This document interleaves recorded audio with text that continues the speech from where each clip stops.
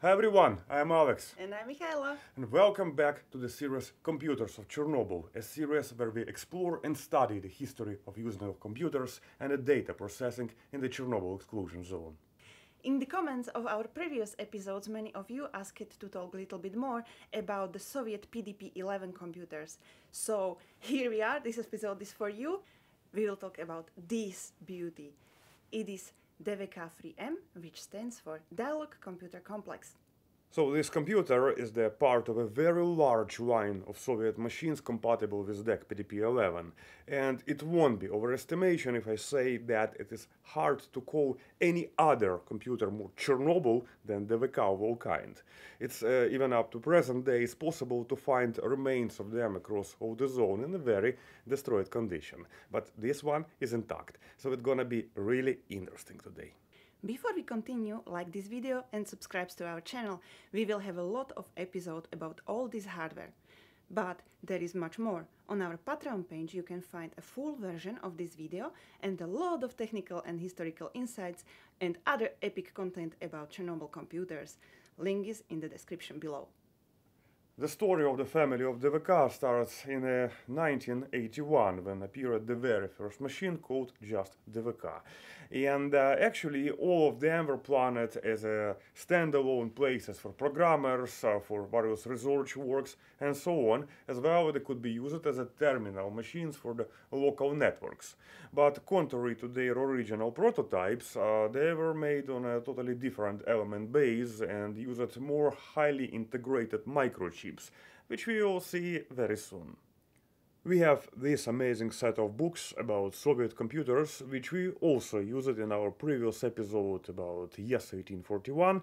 By the way, if you didn't see that, check them. We have them on our channel. So, in uh, one of them, uh, there is a good overview of different generations of DVK, and all of them are based on Elektronika MS1201 single board computing unit of different subtypes with different capabilities and interfaces, all of them running on a K1801 VM processors.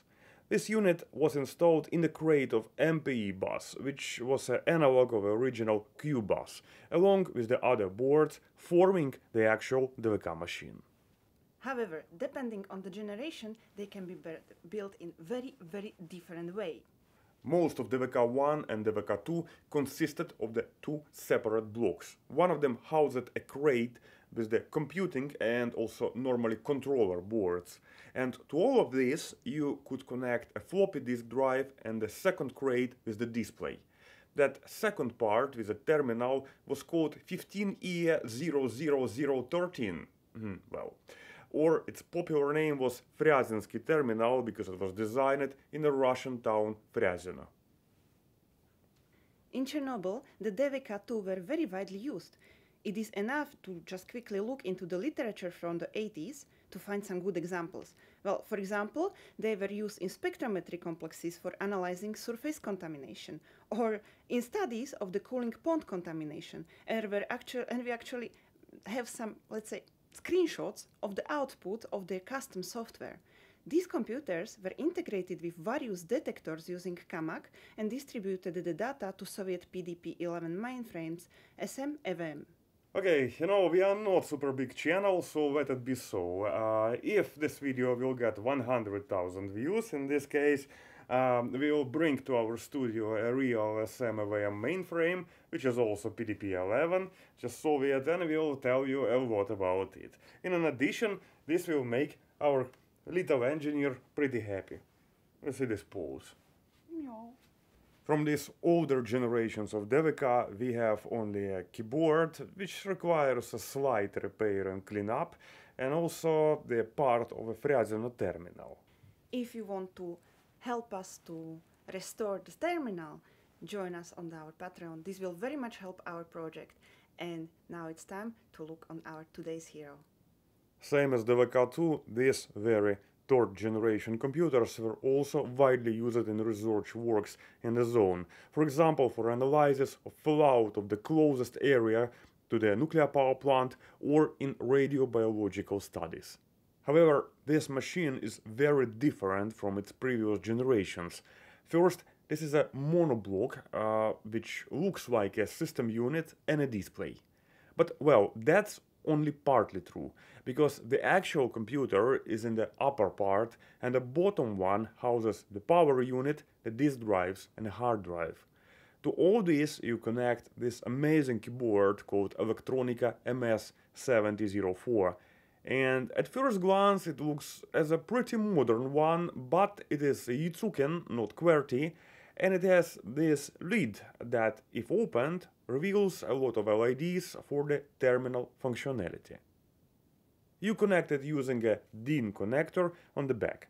There is also a connector for IR-PR interface, which is in fact is an inverter Centronics and also a telegraph channel you can use for communication.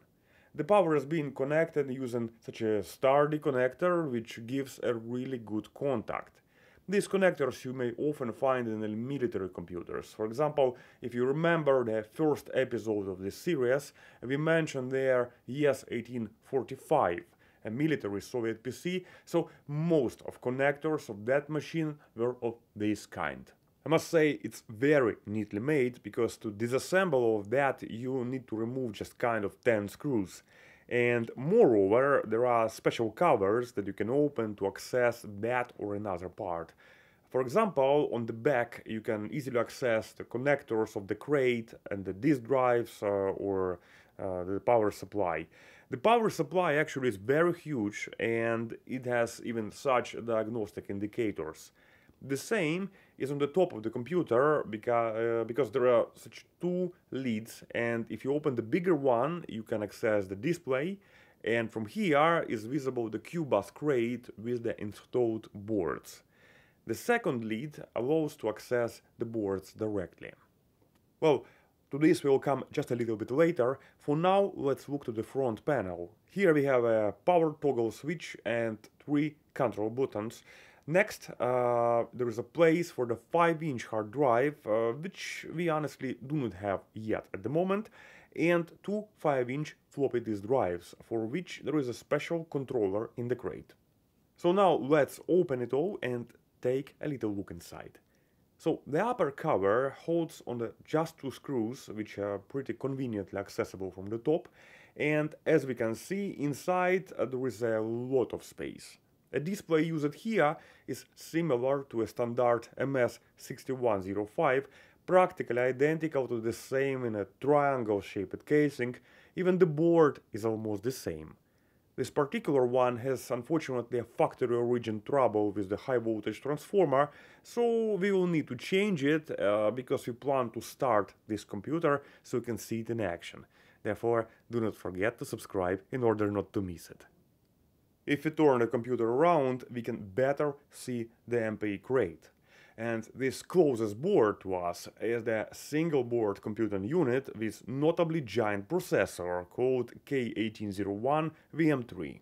Well, frankly speaking, this is the biggest Soviet chip we have seen and uh, reminds on an old joke from that times that Soviet Union was the state where everything was the biggest. It had the biggest factories, uh, biggest spaceships, uh, biggest fields and the biggest microchips.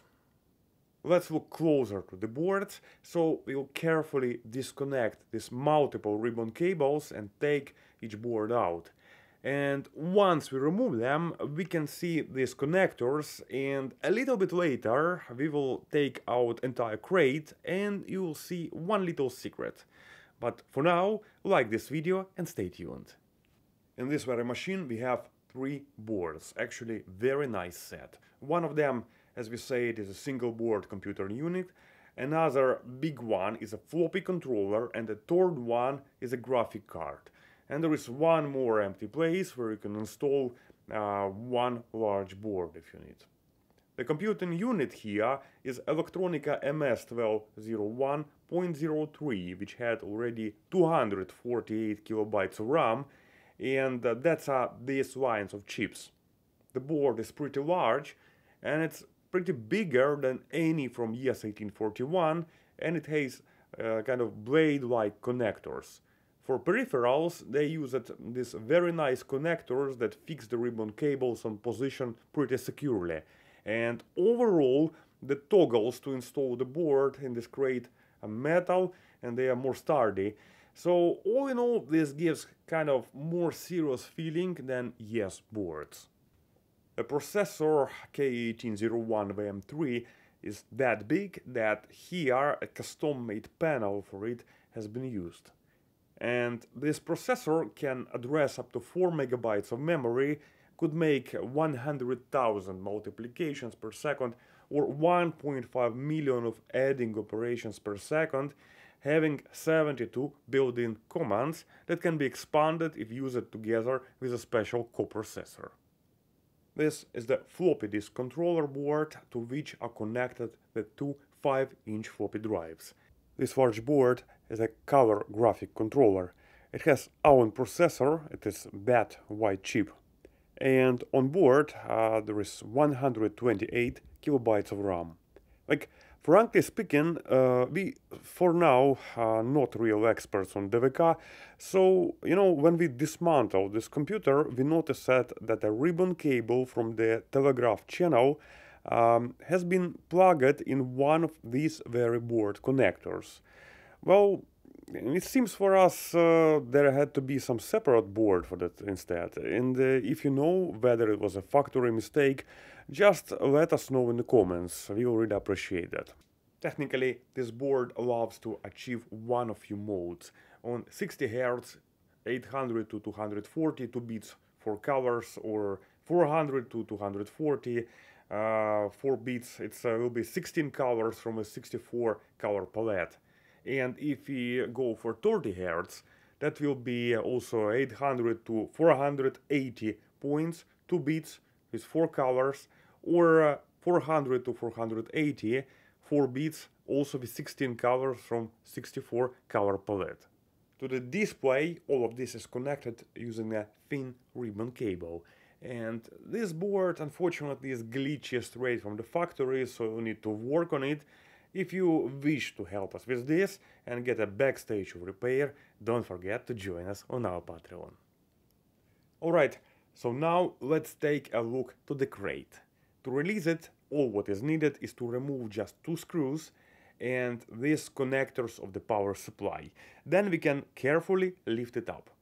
By the way, connectors are pretty interesting as they are rarely used in computing machines uh, and you can find them in other industrial equipment. For example, if you watched a video about a Soviet weighing scale Dina on our channel, there they are in variety, even forming the actual crate, so don't forget to check it out. Once we remove the crate, there become visible this warning on the power supply. It says, attention, the elements of the unit have uh, 1000 volts voltage. Hmm. Interesting. So this is what the crate looks like. Here are two powerful industrial fans and you remember earlier we told, uh, would you like to have a secret? So what looks as a stack of connectors in fact is one giant single connector. It's enormously big and literally stuffed with gold. That's a reason why it's so hard to find DVK alive now. Um, so this forms the MPI bus. MPI actually stands for Broadband Serial Interface, but in Russian language, acronym will be MPI.